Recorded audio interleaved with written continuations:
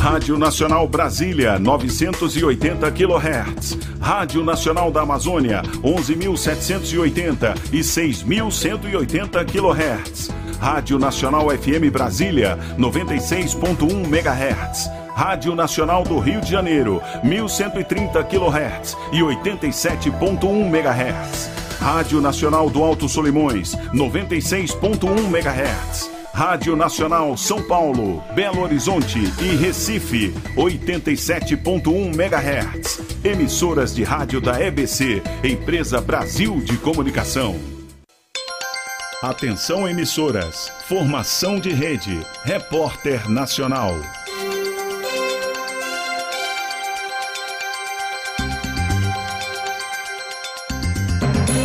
Em Brasília, meio-dia.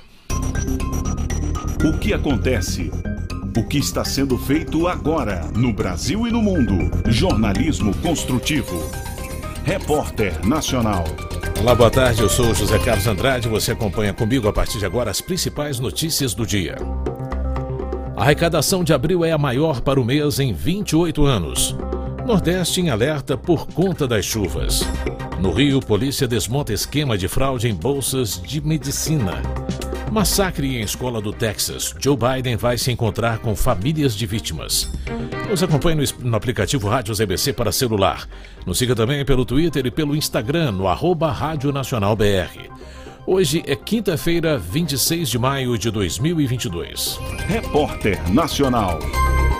Mais um recorte, o quarto este ano. Estou falando da arrecadação de impostos e contribuições em abril, que registrou o melhor resultado para toda a série histórica do mês, iniciada em 1995. Acompanhe agora os números com Leandro Martins. Boa tarde, Leandro. Boa tarde, Zé Carlos. Pois é, com o recolhimento de mais de 195 bilhões de reais em impostos e contribuições em abril, a arrecadação federal registrou o melhor resultado para toda a série histórica do mês, iniciada em 1995, portanto, há 28 anos.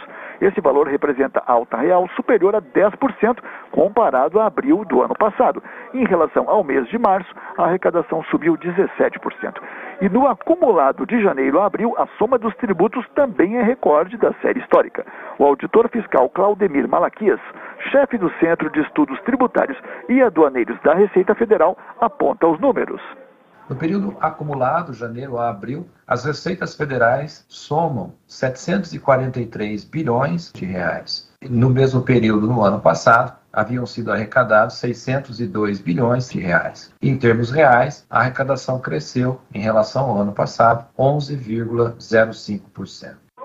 Segundo a Secretaria Especial da Receita Federal do Ministério da Economia, o motivo do sucesso na arrecadação é o crescimento do recolhimento, principalmente de imposto de renda da pessoa jurídica e da CSLL, a contribuição social sobre o lucro líquido. Também foi apontado o crescimento das vendas de serviços, em quase 7,5%.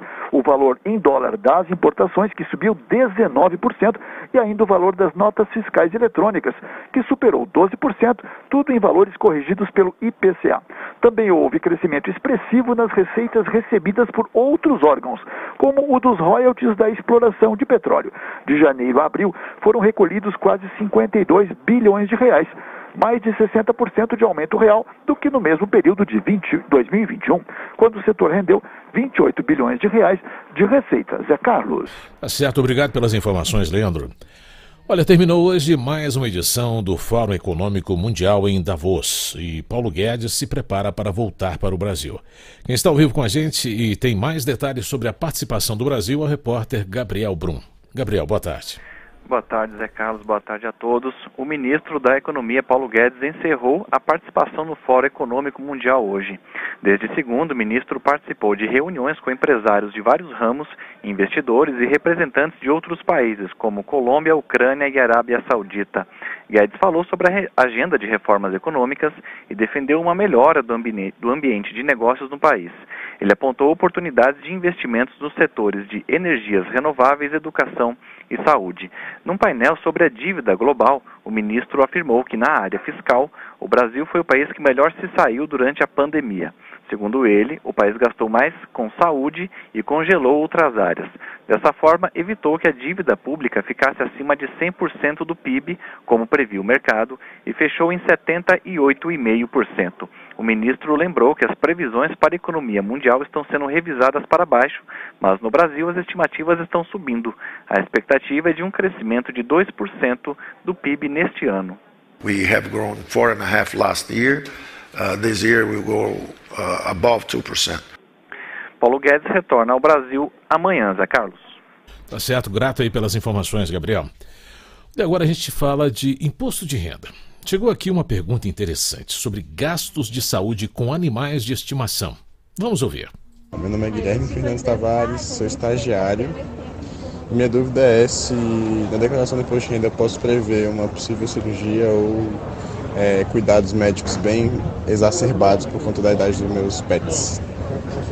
Pois é, curioso, né? Muita gente aí se considera mãe e pai de gato e de cachorro, e os gastos podem ser altos mesmo, não é verdade? Então, a contadora Thaís Mariani explica. Não, despesas com animais de estimação não entra na declaração de imposto de renda, não são dedutíveis, né? Somente despesas médicas pessoais ou com dependentes. Pois é, e amanhã a gente volta com outras dúvidas. Não deixe de acompanhar. Vamos agora ao mercado financeiro. Nesse momento, a Bovespa, Bolsa de Valores de São Paulo, opera com 111.625 pontos em alta de 0,94%. O dólar comercial, em queda de 0,83%, está cotado em R$ 4,779.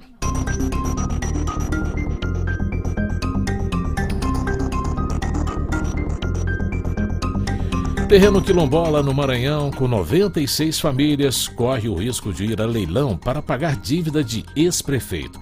O leilão foi suspenso, mas ainda pode ser realizado até o próximo mês. O leilão do terreno onde está localizada a comunidade quilombola Mundico, no município de Santa Helena, no Maranhão, foi suspenso por decisão do juiz Luiz Carlos Pereira, do Juizado Especial Civil da capital maranhense. Segundo ele, a existência de conflito agrário no território, portanto, o credor do processo deverá se manifestar sobre a questão. Os valores arrecadados no leilão seriam usados para pagar uma dívida particular de mais de 10 anos do ex-prefeito da cidade maranhense de Porto Rico, Luiz Henrique Diniz Fonseca. Em valores atuais, a dívida chega a 153 mil reais.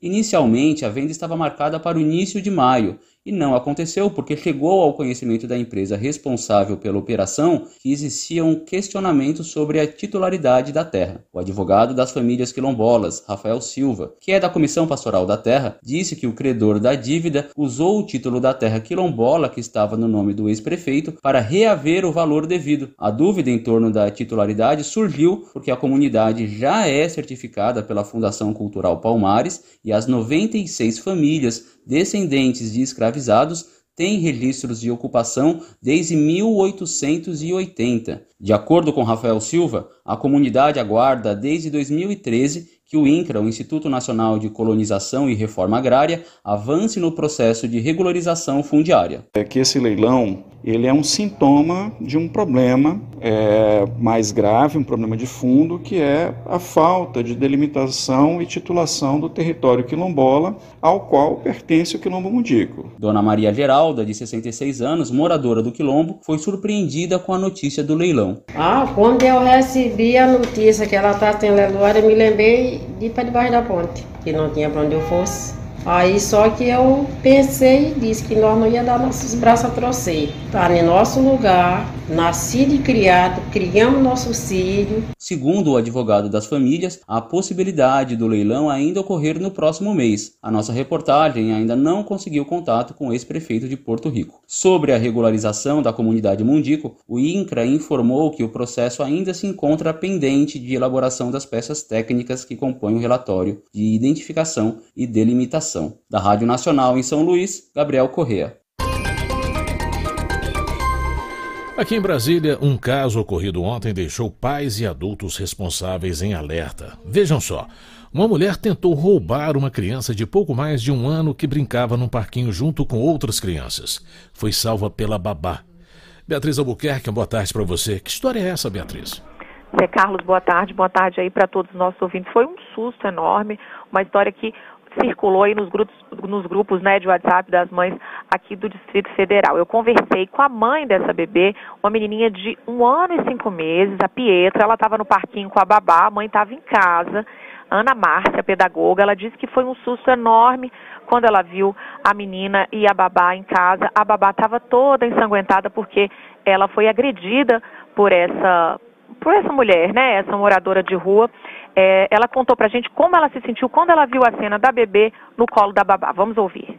É na hora eu fiquei em choque, porque assim, quando ela me contou, o, o, o pescoço dela estava é, é, todo ensanguentado, né? Então, é, é, ela com a minha filha no colo, chorando, e, a, e, eu também do outro lado chorando. Então, assim, é uma cena que eu espero não ver mais. Esse caso, Zé Carlos, ele acende uma luz vermelha sobre a segurança das nossas crianças em espaços públicos, como parquinhos, né, e parques. O delegado Maurício Iacozoli é, Iacozili, perdão, responsável por esse caso, explica que é muito importante estar atento aos pequenos a todo momento para evitar fatos como o que aconteceu com a Pietra. Vamos ouvir está sempre de olho nas crianças, não deixar desacompanhadas. Você vê que mesmo num bairro mais tranquilo como Azul aconteceu esse tipo de, de problema. Então, está sempre de olho, sempre atento, que foi o que essa babá fez, né? Estava de olho. A suspeita de sequestrar a bebê foi presa e, de acordo com a Polícia Civil do Distrito Federal, ela tem uma ficha criminal extensa com quase 100 ocorrências. Ocorrências, ocorrências essas que envolvem lesão corporal, desacato e alguns outros crimes leves. A moradora de rua aparentemente tem problemas mentais.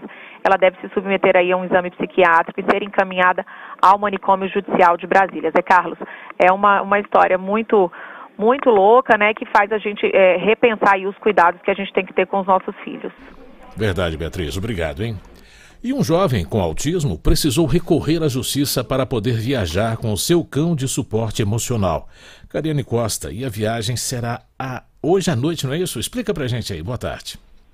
Olá, Zé Carlos, boa tarde. Isso, hoje à noite, parte de Brasília para São Paulo. Após idas e vindas, o jovem Arthur França finalmente vai conseguir embarcar com seu cão de suporte emocional e assistencial. O embarque foi parar na justiça após a companhia aérea negar a autorização ao rapaz de transportar o animal na cabine da aeronave. O jovem autista de 22 anos explica que seu cachorro, um pastor belga, não é apenas um cão de suporte emocional, mas sim de assistência. Há um ano o animal o acompanha em todas suas tarefas. Arthur argumenta que ele devolveu sua autonomia. Eu não tinha autonomia nenhuma antes dele. Eu não conseguia nem sair de casa direito. Passava o dia todo dentro de casa e trabalhava em casa. Agora eu consigo trabalhar é, até indo para outros locais ou então tendo momentos de lazer. Ele me ajuda com a minha deficiência, ele me guia pelos locais, ele pega coisas no chão para mim, ele me tira de crise de meltdown ou burnout do, do autismo, ele me tira de comportamentos autolesivos, em 13 de janeiro, Arthur tentou embarcar com o animal, mas foi impedido. Na época, a companhia aérea Gol argumentou que somente cães conduzidos por passageiros com deficiência visual estariam autorizados. Na ocasião, Arthur chegou a ganhar liminar, mas agora em maio novamente precisou recorrer à justiça. A decisão liminar foi da terceira vara civil de Águas Claras, no Distrito Federal, que determinou que a Gol autorize o passageiro com autismo a embarcar acompanhado de seu cão. Vai lembrar que na última terça-feira o Senado aprovou por unanimidade o projeto que garante a companhia de animais domésticos de pequeno porte em todos os meios de transporte ou em locais abertos por pessoas com deficiência mental, intelectual ou sensorial. A proposta ainda precisa passar pela Câmara e sanção presidencial para virar lei. Tentamos contato aí com a Gol, a companhia aérea, mas até o fechamento dessa edição não tivemos uma resposta. Voltamos com vocês. Muito obrigado, Cariane. Delegados presos na Operação Calígula vão continuar presos. A Justiça do Rio não liberou os habeas corpus. É a segunda vez nesta semana que os dois policiais civis têm pedido de soltura negado. Cristiano Ribeiro tem as informações para gente. A Justiça do Rio de Janeiro manteve a prisão dos delegados Adriana Belém e Marcos Cipriano. A decisão é do desembargador Joaquim Domingos de Almeida Neto, da Sétima Câmara Criminal do Tribunal de Justiça, que negou os habeas corpus pedidos pela defesa dos dois policiais civis presos na Operação Calígula, no dia 11 deste mês, pelo Ministério Público do Estado do Rio. Esta é a segunda vez nesta semana que os dois policiais civis têm o pedido de soltura negado pela Justiça. Eles são acusados de integrar uma organização criminosa liderada pelo contraventor Rogério de Andrade, voltada à exploração de jogos de azar. Os advogados de Marcos Cipriano sustentaram a ausência de fundamentação e o fato da condição de réu primário, bem como possuir bons antecedentes e não ter anotação negativa em sua ficha funcional. Já a defesa de Adriana Belém pediu a revogação da prisão ou a decretação de prisão domiciliar. No dia da operação, os policiais encontraram na casa de Adriana mais de 1 milhão e 700 mil reais em espécie, o que, de acordo com o desembargador Joaquim de Almeida Neto, justifica a manutenção de sua prisão. Da Rádio Nacional no Rio de Janeiro, Cristiane Ribeiro. E a gente fala agora daquele massacre na escola primária em uma cidade do Texas, nos Estados Unidos. A população do país ainda está de luto com a morte de dois adultos e 19 crianças. Daniela Franco, da Rádio França Internacional, tem os detalhes. Os Estados Unidos de luto após o ataque contra uma escola primária de Uvalde, no estado do Texas, que deixou 21 mortos, entre eles 19 crianças. O presidente americano Joe Biden anunciou que vai viajar até a cidade nos próximos dias, acompanhado da primeira-dama Jill Biden, para consolar as famílias traumatizadas com o ataque. Duas pessoas gravemente feridas pelo atirador Salvador Ramos, de 18 anos, estão entre a vida e a morte no hospital. Centenas de pessoas participaram de uma vigília na quarta-feira em homenagem às vítimas da tragédia. O enviado especial da RFI ao Valde, David Thompson, conversou com os moradores no local, entre eles o pai de um aluno que sobreviveu ao ataque. Vamos ouvi-lo. Simplesmente não há palavras para descrever o que ocorreu. Desprezível, grotesco, eram crianças inocentes. Tinham suas vidas inteiras pela frente, um futuro, e tudo isso foi roubado deles. Diante da escola Robb Elementary School, moradores deixam bichos de pelúcia, flores e mensagens às crianças que morreram na tragédia. A mãe de uma aluna sobrevivente do ataque, que foi até o local prestar a homenagem, conversou com a RFI. Vamos ouvi-la. Um, I'm bringing all of them a little stuffed animal so they can go Trouxe um bicho de pelúcia para cada um para que possam dormir com eles. Esse aqui é para Eli, filha de uma amiga minha. Conhecíamos todas as crianças, a cidade é pequena. Eram todos queridos, inocentes, alguns deles conviviam com minha filha. Outros eram filhos de amigas minhas. Minha vizinha perdeu uma sobrinha e um sobrinho. É muito triste. Meu coração está partido e não quero parecer egoísta porque minha filha voltou para casa viva. As crianças dos meus amigos não tiveram o mesmo destino. I can't be selfish because my daughter made it home and my friends' kids didn't make it home.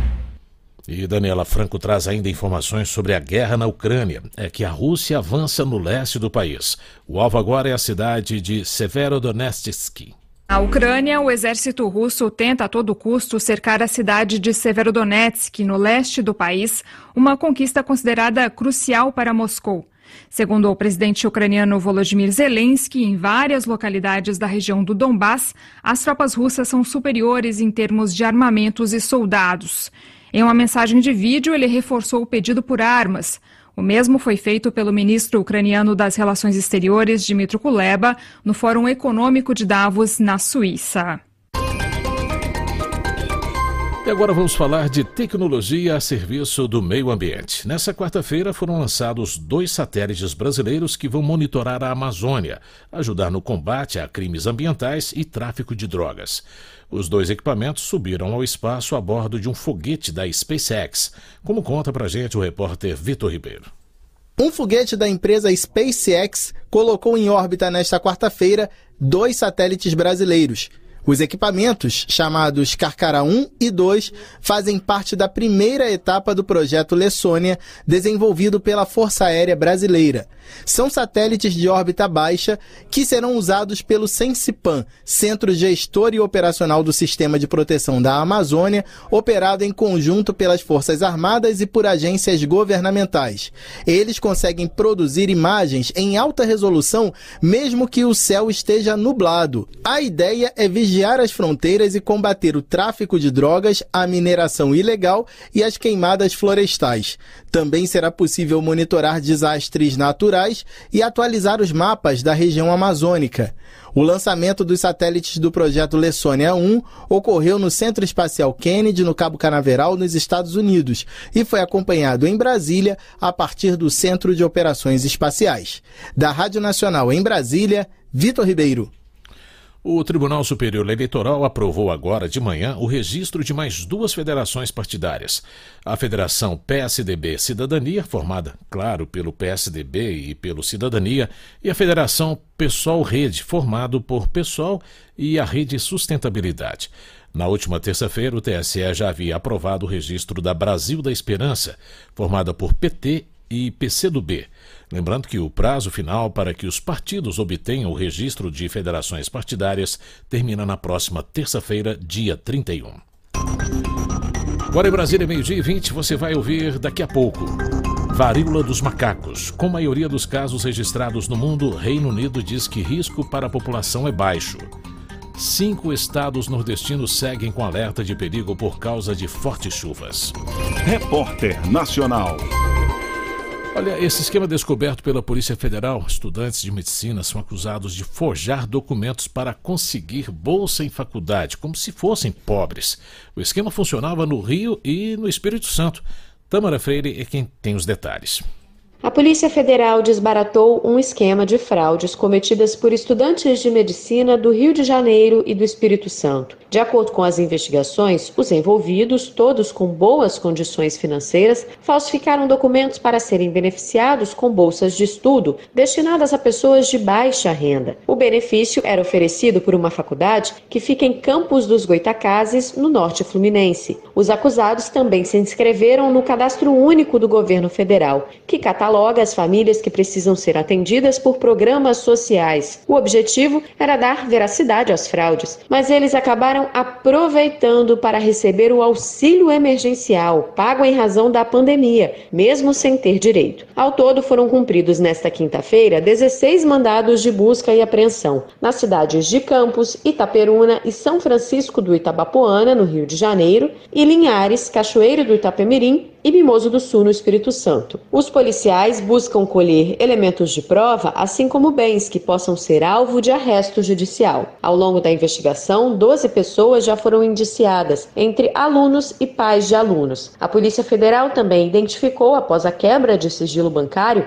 que os investigados movimentavam altas quantias, incompatíveis com a alegação de que eram desprovidos de recursos para pagar as mensalidades do curso médico. Imagens divulgadas pela PF CPF das casas de alguns acusados mostram que se tratam de imóveis de alto luxo. Os agentes divulgaram ainda fotos de um carro pertencente a outro envolvido, avaliado em cerca de 130 mil reais. Todos vão responder pelos crimes de estelionato, falsidade ideológica e organização criminosa. Da Rádio Nacional no Rio de Janeiro, Tamara Freire. Solidariedade. Várias iniciativas pelo país estão arrecadando dinheiro para ajudar estudantes que não têm condições de pagar a taxa de inscrição do Enem 2022. E você quer ajudar? Ainda dá tempo, não é mesmo, Leandro Martins? Exato, Zé Carlos. Ajudar quem precisa é o objetivo das vaquinhas solidárias para inscritos do Enem que não têm condições financeiras de pagar a taxa de inscrição, que custa R$ 85,00 e vence nesta sexta-feira. A ideia é arrecadar o maior valor possível para bancar essas inscrições. Entre as iniciativas está o Movimento Amplia. A campanha encerrou nesta quarta-feira e a ideia era garantir a inscrição de mil estudantes nesta edição do Enem.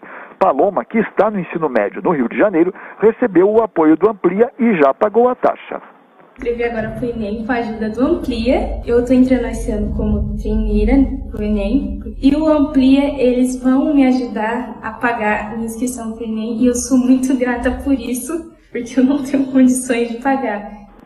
Mas quem não sabia dessa vaquinha, não perca a esperança, porque tem outros movimentos ativos ainda. No Instagram tem a página Casinha Acolhida, que participa pelo terceiro ano seguido e já beneficiou 50 estudantes. Alguns artistas também apoiam esses movimentos.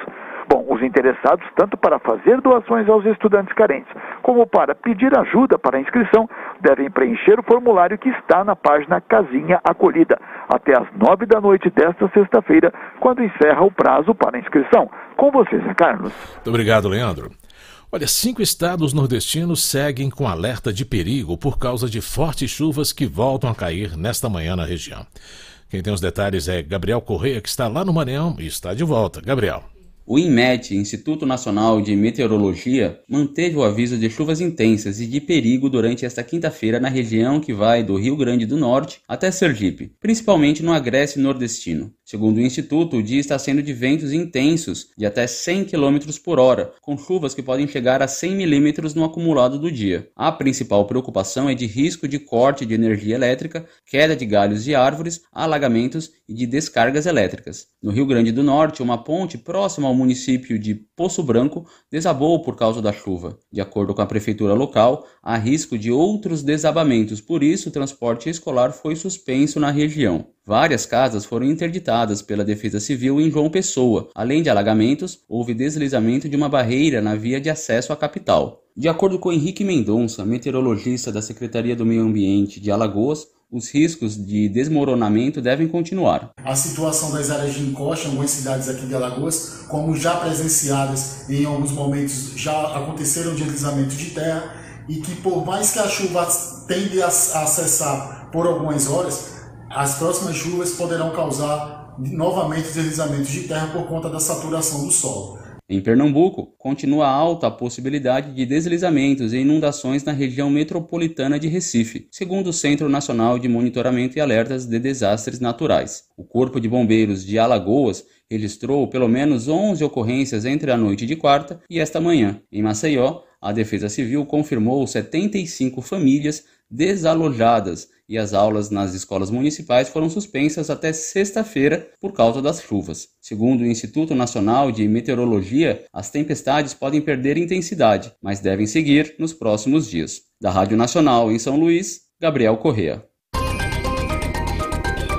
Com 78 dos 150 casos confirmados globalmente da varíola dos macacos, o governo do Reino Unido diz que o risco para a população ainda é baixo. As informações com Vivian Oswald, da Rádio França Internacional. O governo britânico já disse que, por enquanto, não tem intenção de convocar reuniões de emergência do chamado Grupo Cobra, que acompanhou de perto a pandemia do coronavírus. Por via das dúvidas, decidiu-se ampliar o estoque de vacinas contra a varíola comum, que havia sido erradicada na década de 1980. O Reino Unido está comprando mais 20 mil doses, além das 5 mil que já tinha. O antígeno será aplicado em pessoas que tiveram contato com pacientes da doença. Esse vírus, segundo o Sistema de Saúde Nacional, não se espalha com facilidade. As contaminações podem se dar pelo contato muito próximo entre as pessoas ou por certos objetos usados por quem tenha sido infectado, como roupas, roupas de cama e utensílios. Sinal vermelho para a dengue no país. Os casos estão aumentando. Para se ter uma ideia, só aqui no Centro-Oeste foram mais de 800 mil. Igor Cardim tem as informações. Os casos de dengue vêm crescendo no país. O Centro-Oeste lidera com mais de 855 mil casos prováveis da doença, transmitida pelo Aedes aegypti, segundo o Ministério da Saúde. O levantamento do governo federal leva em consideração as informações reunidas pelas secretarias de saúde dos estados e do Distrito Federal de janeiro a 14 de maio deste ano. Se comparado com o mesmo período de 2021, o Centro-Oeste registrou aumento de 165% no número de casos registrados. Brasília é a cidade com mais casos prováveis de dengue, acima de 41 mil, o que representa 1.339 casos para cada 100 mil habitantes, um aumento de 528% se comparado a 2021. O coordenador de atenção primária da Secretaria de Saúde do DF, Fernando Eric, reforça os sintomas mais comuns. Sempre tem esse relato de febre, usualmente entre dois e sete dias de duração, e duas ou mais manifestações que podem ser náusea, vômito, aquelas manchas vermelhas na pele, muita fraqueza, indisposição, muita dor no corpo, as dores nas articulações, a dor de cabeça, principalmente aquela em volta dos olhos. O tratamento da dengue, quando não hemorrágica, é feito de forma paliativa, ou seja, atuando em cima dos sintomas. Eliminar a água parada é fundamental para que o mosquito transmissor da dengue Zika, febre amarela e chikungunya não se reproduza. Com supervisão de Sheila Noleto, da Rádio Nacional em Brasília, Igor Cardim. Pois é, quando se fala em dengue, gente, é sempre bom reforçar, né? Não deixar água parada, cuidar do seu quintal, usar repelente, ficar de olho na sua casa e na do vizinho. E como disse o Igor, ficar atento aos sintomas. Ao primeiro sinal, procure um médico. E beba muita água, né? A recomendação é para se manter hidratado e repousar. E a gente conta hoje para você a história da Fiocruz, que está esta semana faz 122 anos fabricando vacinas e remédios para todo o país. Idealizada por Oswaldo Cruz em 1900, a Fiocruz você confere, portanto, nessa reportagem especial de Maurício de Almeida. A história da Fundação Oswaldo Cruz começou em 25 de maio de 1900, quando o governo criou o Instituto Soroterápico Federal, na fazenda de Manguinhos, no Rio de Janeiro. O objetivo era desenvolver soros e vacinas para enfrentar a epidemia de peste bubônica e outras doenças que se espalhavam pelo Brasil. Em 122 anos, a Fundação cresceu e está presente em todas as cinco regiões do Brasil, com núcleos em 10 estados, além do Distrito Federal, e ainda tem parcerias com instituições científicas de 50 países. Atualmente, quase 12 mil pessoas trabalham na Fiocruz. Funcionários como Silvia Mota, que está há 38 anos no local e atualmente dirige a creche da Fundação. Eu vi esta instituição transformar a vida desse país. Eu vi transformar a saúde. Eu faço parte dessa história. Eu faço parte da história da saúde pública desse país. O orgulho que Silvia tem de trabalhar na Fiocruz pode ser explicado em números. A fundação é a maior produtora mundial da vacina contra a febre amarela e fabrica diversos tipos de vacinas contra o sarampo, cachumba, rubéola, poliomielite e covid. Só no ano passado entregou 233 milhões de doses de vacinas para o governo federal. A presidente da Fiocruz, Nízia Trindade, disse que a instituição contribui para a saúde do brasileiro. Essa pandemia mostrou a importância de investimentos contínuos em ciência, tecnologia e inovação. Essa pandemia mostrou também que só uma visão integrada que considere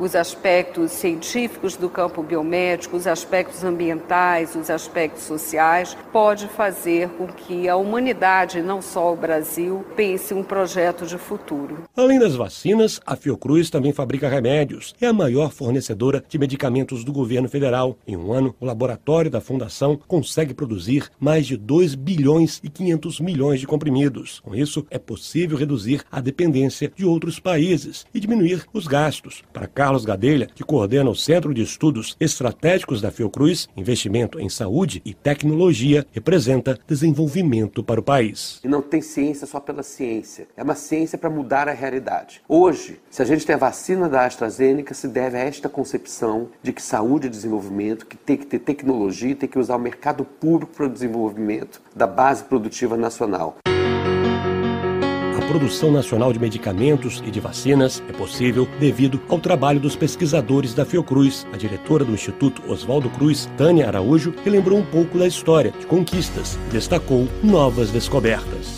a descoberta da doença de Chagas em 1909 e a erradicação da varíola já na, primeira metade do século passado foram grandes contribuições do nosso instituto à saúde do Brasil. Depois nós tivemos várias questões muito importantes também, o primeiro isolamento do vírus HIV e as primeiras pesquisas em HIV/AIDS saíram aqui do nosso instituto e eu posso destacar também uma vacina é, ainda experimental que está em fase de testes na África, que é a primeira vacina para esquistosomose e faciolose. Esquistosomose é doença humana, faciolose uma doença é, que atinge mais o gado, né? Atualmente a Fiocruz desenvolve mais de mil projetos de pesquisas. A fundação também atua na formação de novos profissionais para a área da saúde.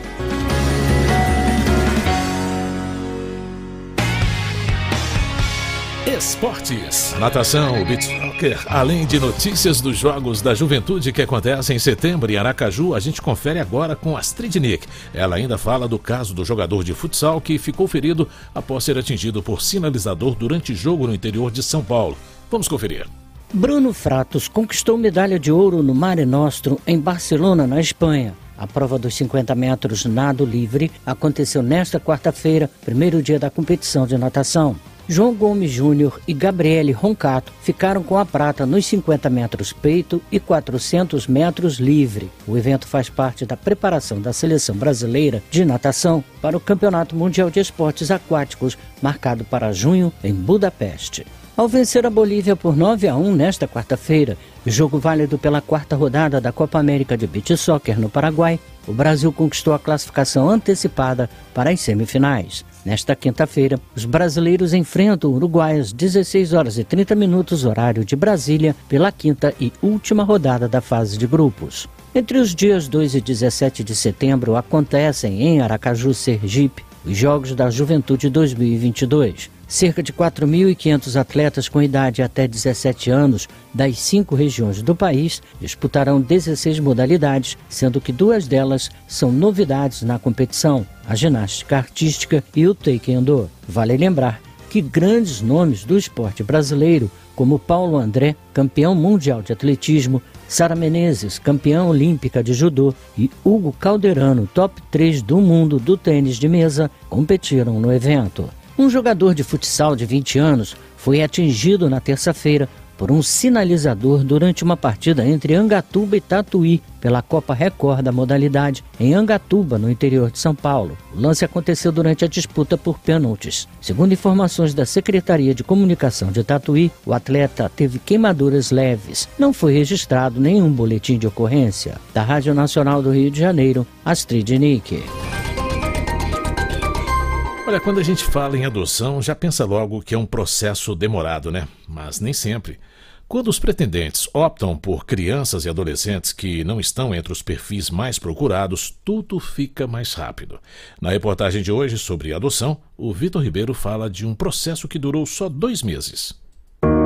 O processo de adoção pode levar muito tempo, mas também pode ser bem rápido.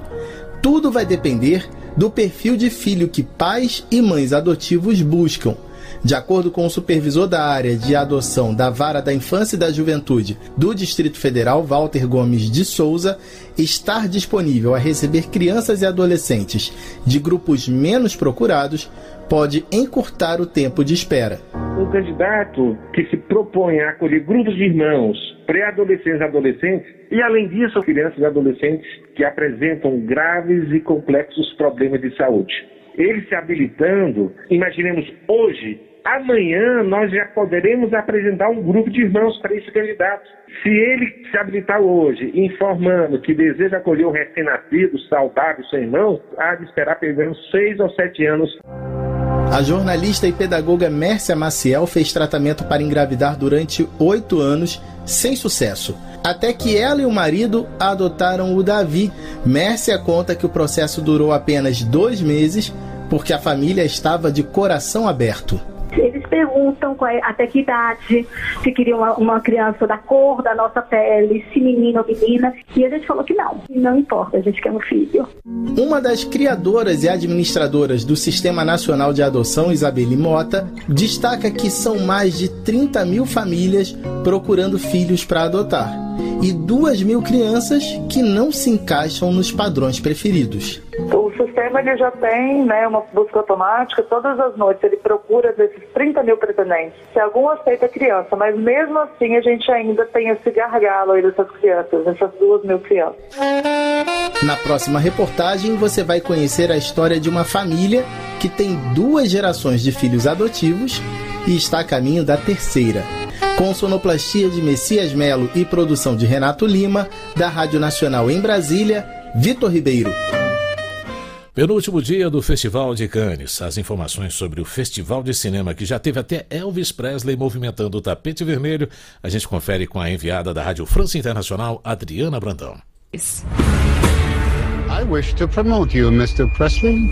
O cineasta Baz Luhrmann fez sensação nesta quarta-feira no tapete vermelho de Cannes, usando um enorme cinto dourado com o nome Elvis. A seu lado, Tom Hanks, o jovem ator Austin Butler e toda a equipe do longa que narra com originalidade a ascensão e queda do rei do rock americano Elvis Presley, morto em 1977. Foi a pré-estreia mundial de Elvis, exibido fora da competição.